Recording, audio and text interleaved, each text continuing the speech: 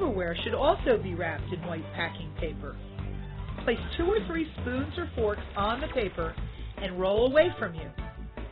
After one or two revolutions, add two or three more pieces of silverware. Fold the corner to the center and continue to roll. Place your silverware at the top level of the dish pack. Pack knives the same way you pack the rest of your silverware, but be sure that you mark knives on the outside. You don't want to cut yourself as you're taking that package out of the box.